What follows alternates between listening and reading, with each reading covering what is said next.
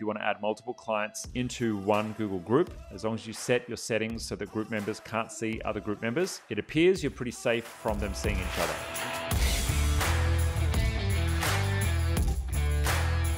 How to set permissions on Google Workspace for clients? Can you hide group members' emails for privacy between customers? That's a good question.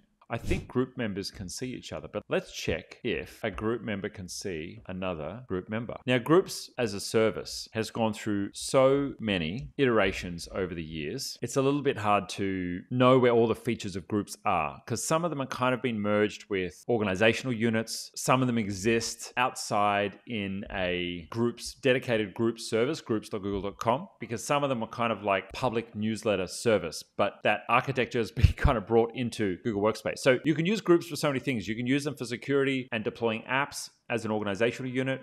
You can use groups for a distribution email list if you just want an email list. You can use groups for locking down permissions in Google Drive. And you can use groups for a full blown forum if you want, which can also almost act like a shared mailbox. So that's five things that you can use groups for. But anyway, let's have a look at this. Test uh, members.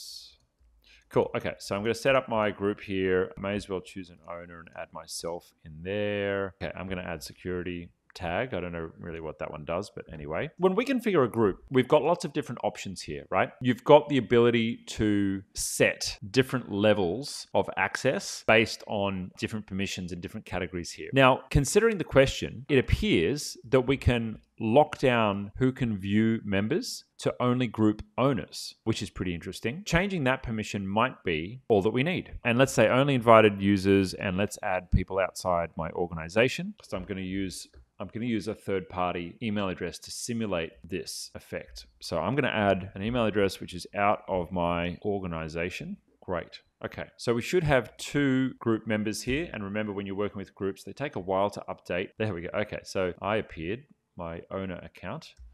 Oh, there we go. Okay, wonderful. Cool. So I've got my secondary account. It's on a different domain. Effectively, we're simulating what a customer would see. So first, let's open up the group as a group owner. So I'd go to groups.google.com. You can see there's lots of different groups that I am a part of here, and it was called test group members. So I'm going to go ahead and open the group. Now this groups service is where you can see a log of all of the emails or groups calls them conversations that are here. You can see members in the group, so I can see the different members that have been added here. There's pending members and banned users. They're more of the like forumy type features that exist in the Google Groups service. But as an owner, I'm obviously going to be able to see everything. Let's see what it looks like when I switch to my alternative account. Okay, so I can't see those, but oh, let's go to all groups. I guess it's probably not my group.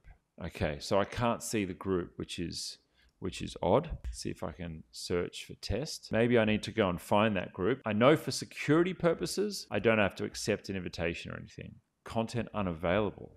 It's not showing me that group. I wonder if that's because I made it a security group here.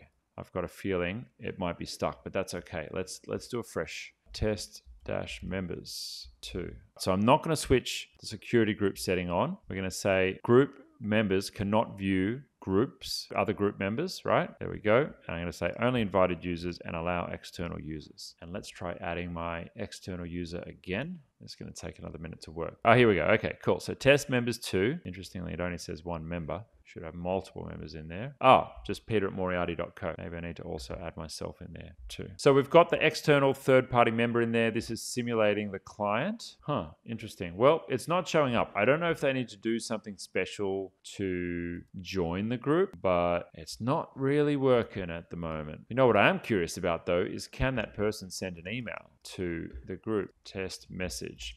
So remember I said these act a little bit like a forum and when I send that email, it's going to appear in the group as a message. So if I go to all groups, I go to test two, we should get a conversation starting here. There we go, conversations. There we go. Cool. Okay. So this is the external customer. They're able to interact with the group here. The only issue we don't we have is this group is not showing up for that person. So I suspect that the question this person has asked, can you hide group members' emails for privacy between customers? In this instance, it doesn't appear to be exposing their group membership, at least in the group's service. Where else might it show up? Well, it might show up on a calendar event, but I'm pretty certain this feature works as described and won't expose calendar event to other people. So let's jump on my calendar and I'm going to put in a test event here. And in my test events, I can start to add groups. And if I add a group into a test event, I'm going to grab the group email address and pop it in there. Yep, that's the one. Ah, here we go. You don't have permission to view the members list. Group members will receive an email but must add the event to their calendars manually. I can't see it because this one was actually set as a member of the group. Now, normally you would actually be an owner. If you're the person who set up the group, normally you'd be an owner. And so you have the ability to see the group. Just save that setting there. But when I create the event, let's go and send my invitations. I've received an invitation here. This is on the receiving side. You'll see I've got my alternative calendar here. I can can see that there's a group that's been invited, but I can't see the members of that group. I suspect it will be the same in Google Drive if something's shared. So if I set up a test in that Google Drive, if I go to members, I paste the group name, maybe even give them a notification. How about that? The group has now been added to the shared drive. I can access it with my primary account. Let's go to the simulated secondary account. I'm going to go to my shared drives. Test group members, shared drive. I'll go ahead and open this. View members. It's going to show me the group. If I hover over that group, I'm going to try and open as much as I can. I just can't see anything to do with this group. So your results may vary.